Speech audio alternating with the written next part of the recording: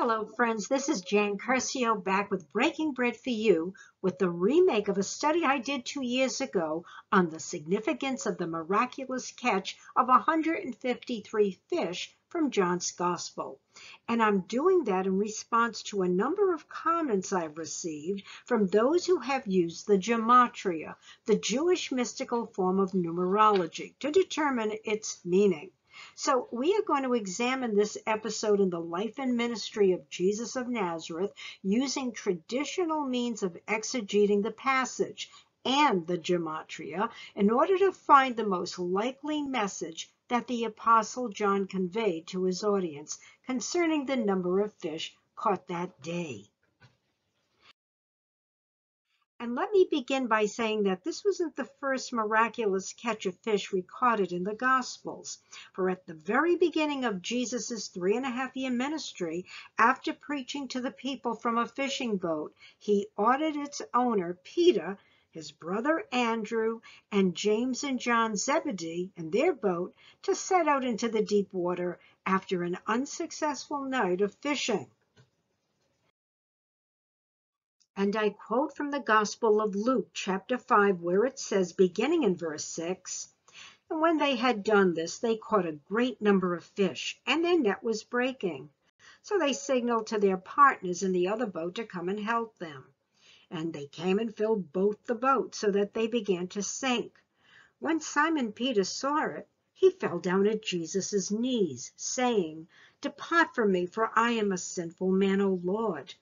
In verse 10, Jesus said, Do not be afraid. From now on, you will catch men. And it was due to that first demonstration of Christ's power that the four Galileans walked away from their fishing business to follow him, to be discipled, to evangelize lost sinners. So bear this in mind, for you will see that the second miraculous catch of fish at the end of Jesus' ministry was a reinforcement of that call. Noteworthy is that when Simon Peter realized that Jesus was a man of God, he becomes self-conscious of his not so godly state, even evident in the second miraculous catch of fish three and a half years later. And beyond the first miracle, having walked away from their families, livelihood, community, and all else that they left behind to follow Jesus, was extraordinary, miraculous in itself. That all said, let's take a look at the second miraculous catch of fish that occurred following Christ's resurrection, his third post-resurrection appearance recorded in John's Gospel, the setting of which was, again, on the shore of the Galilee, also following an unsuccessful night of fishing. Beginning in verse 1 of John chapter 21, it is written, After these things Jesus showed himself again to the disciples at the Sea of Tiberias, and in this way he showed himself. Simon Peter, Thomas called the twin, Nathanael of Cana in Galilee, the sons of Zebedee, that's James and John, and two others of his disciples were together. Simon Peter said to them, I'm going fishing. They said to him, We are going with you also. They went out and immediately got into the boat, and that night they caught nothing.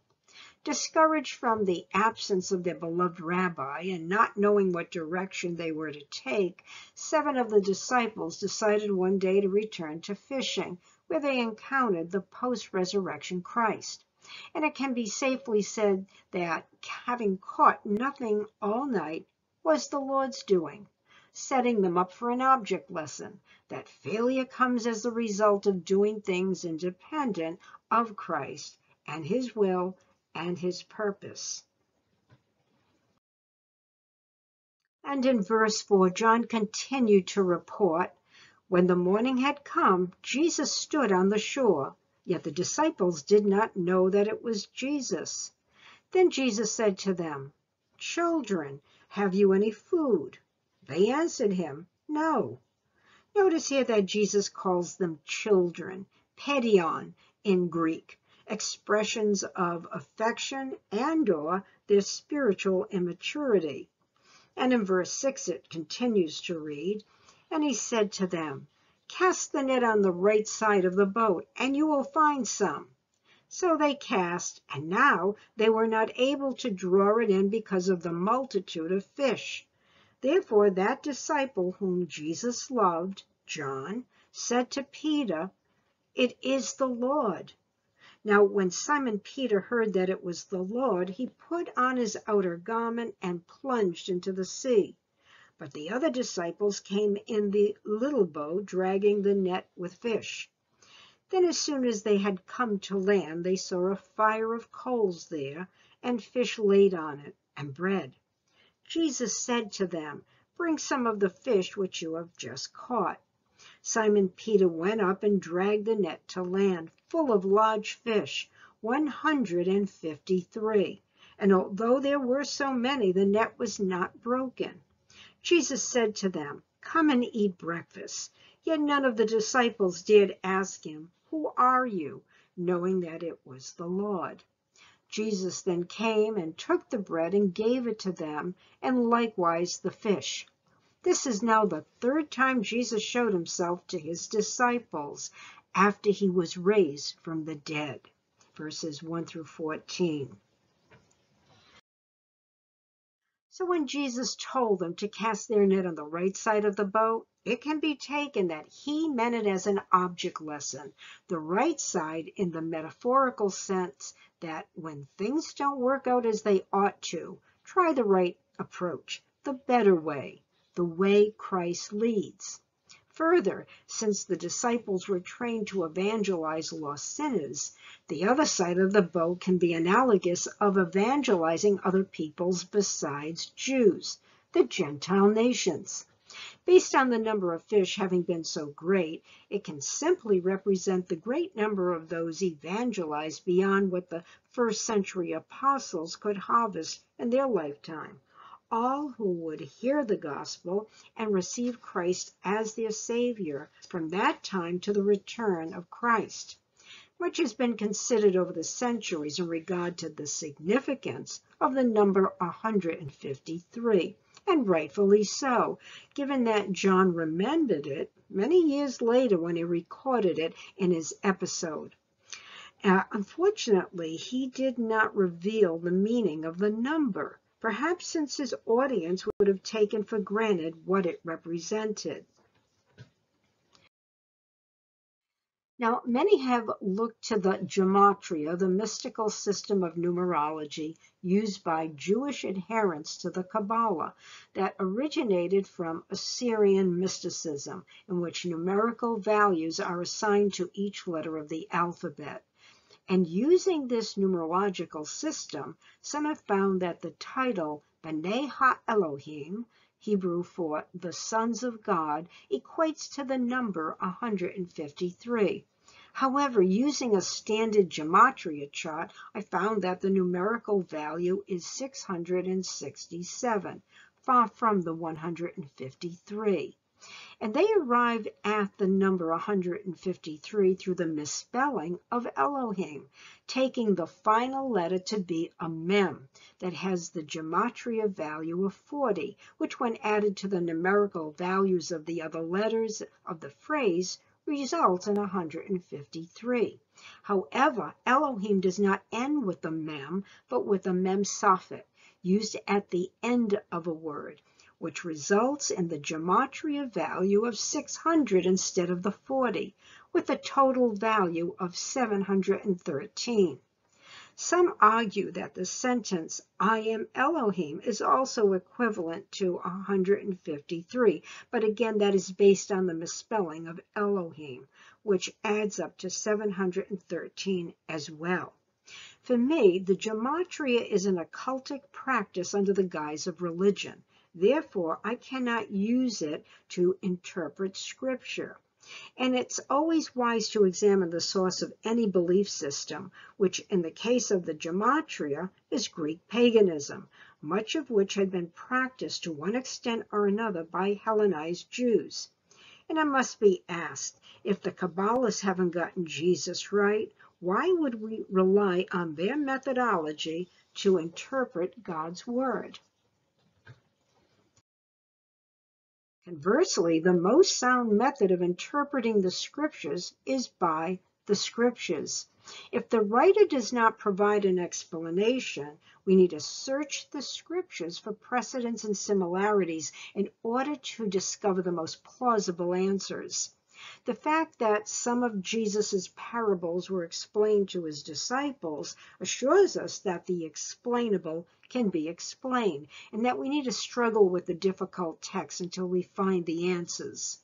Now, since there was no meaning given for the 153 fish in the passage, many have opted for the most simple interpretation as mentioned above, that the great number of fish caught that day represents the greatest amount that they had ever caught, which had resulted from a miracle.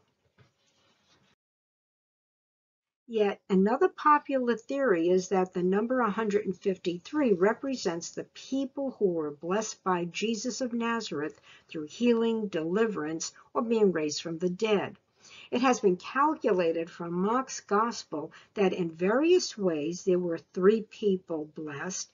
Matthew's Gospel has 47, Luke's Gospel 94, and John's Gospel 9, adding up to 153 individuals blessed by Jesus in one way or another, at least said that had been blessed by Jesus in one way or another.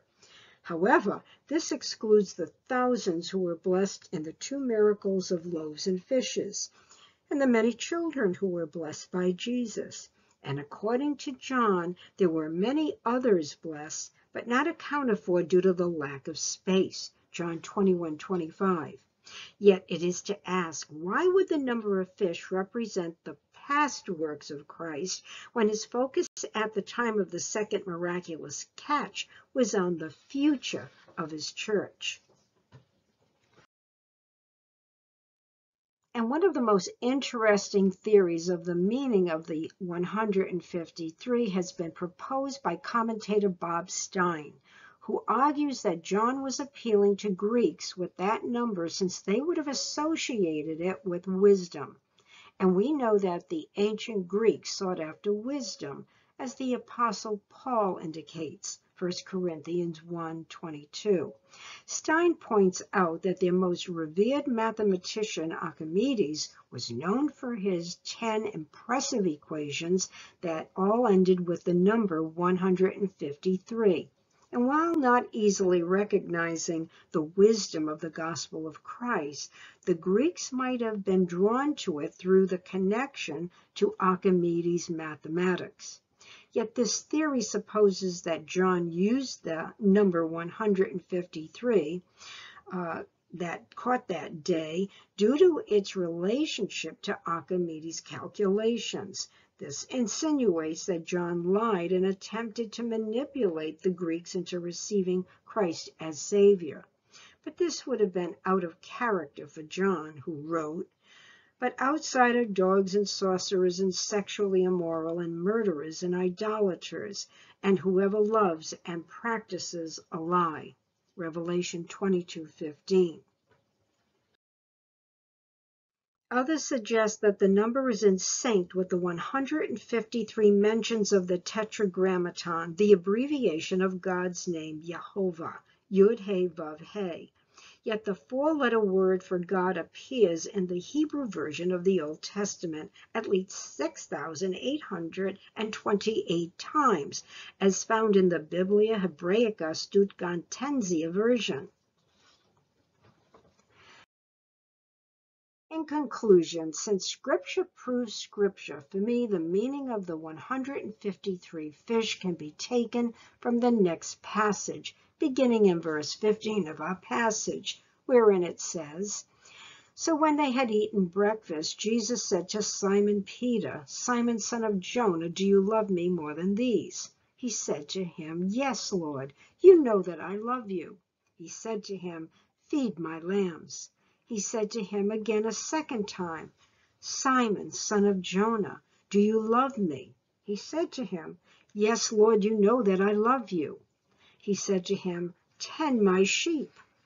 He said to him the third time, Simon, son of Jonah, do you love me? Peter was grieved because he said to him the third time, Do you love me? And he said to him, Lord, you know all things. You know that I love you. Jesus said to him, Feed my sheep. And who were his sheep? Those whom the apostles and all of the evangelists who would follow them would evangelize and disciple throughout the world and the ages.